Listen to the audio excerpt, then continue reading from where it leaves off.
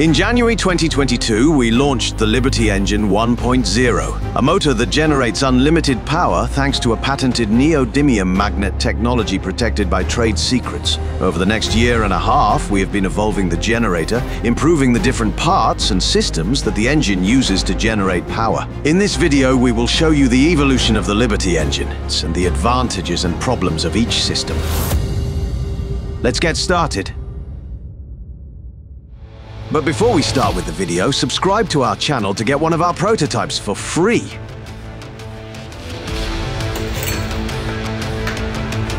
If this video reaches 5 million views, we will raffle our Liberty Engine 2 among all our subscribers who leave a comment on the video. And remember to like and share it with your friends to reach the goal, and that one of you has this prototype at home. Good luck.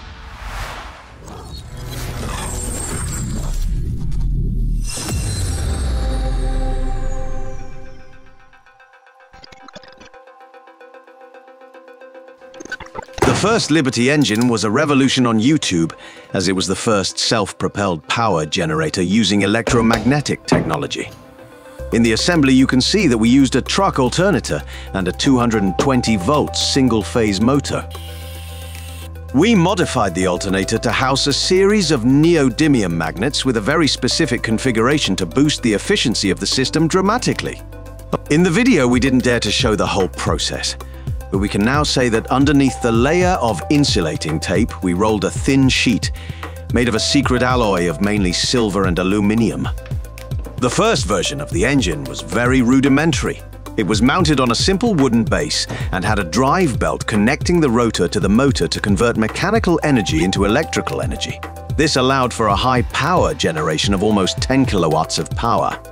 As there were many skeptics, we made a series of subsequent videos where we tested the motor in different scenarios. For example, a two-hour R live show with the motor running and other videos where we answered questions and changed the base for a transparent methacrylate one. You can find links to these videos in the video description. This outdoor test is unpublished. Here we can see some of the advantages and disadvantages of this first version. The Liberty 1.0 is compact and light, making it easy to transport.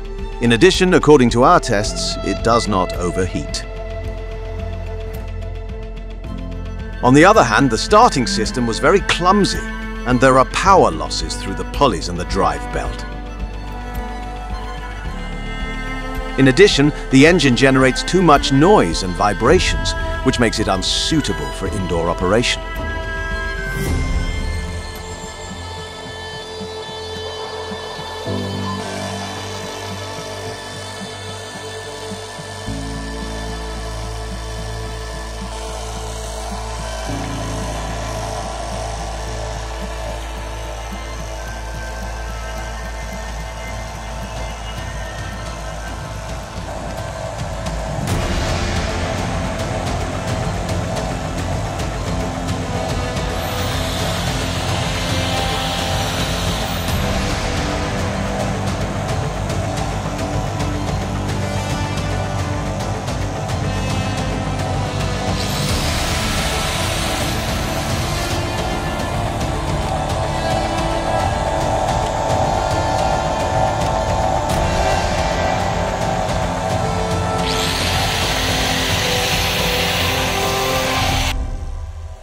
Therefore, we spent a year researching ways to improve the Liberty Engine 1. And so, in January 2023, we released the Liberty Engine 2. With what we had learned about the electromagnetic power of neodymium magnets, we began to develop the Liberty Engine 2. To improve it, we manufacture the rotor with precision machines. This way we eliminated a lot of noise and vibrations. Looking to minimize friction and moving parts, we found a way to replicate the magnetic power that feeds back into the spinning rotor by using four NN52 neodymium magnets. In addition, this configuration would allow us to increase the power generated by the motor to 20 kilowatts,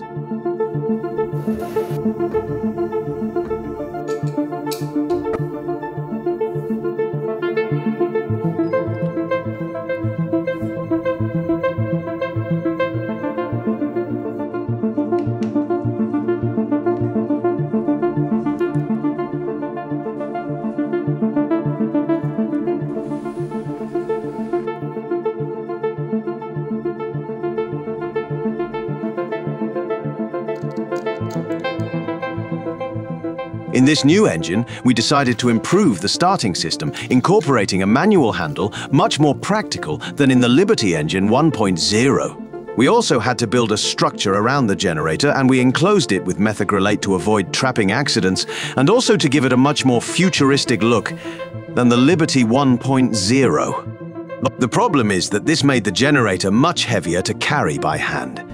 The design of the engine is much more attractive than the previous version, but the best thing is that it also doesn't overheat and is much more efficient as it has no belt or pulleys to drive it.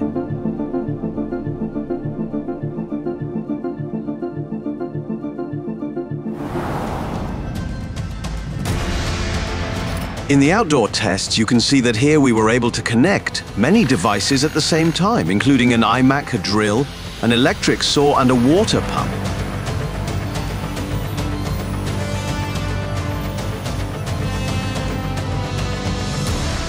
We were still generating a lot of excess power, but we were still thinking about how to completely eliminate noise and how to increase efficiency by eliminating moving parts.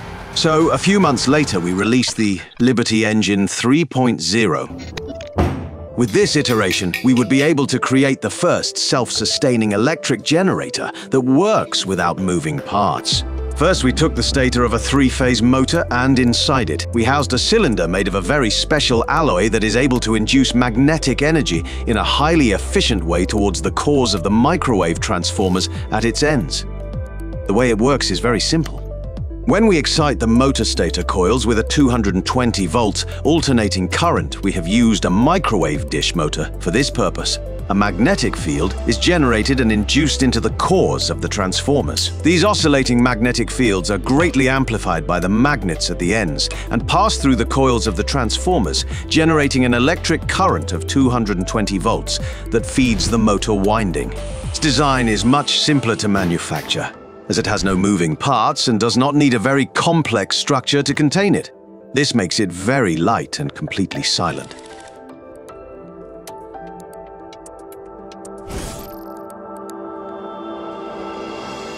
With this system, we have a surplus power generated of almost 5 kilowatts, which makes it more than adequate to electrically power any home. In addition, it does not overheat at all. At least in our tests, we have not detected high heat even after 30 days of operation. On the downside, it is the model that generates the least power, only about 5 kilowatts of average power, although in the future we will make it twice as powerful by placing two coils on each transformer core. Its design is somewhat clumsy and the starting system could be improved. Finally here you can see the three models of the Liberty engine and their pros and cons. Thanks for watching the video and see you in the next invention.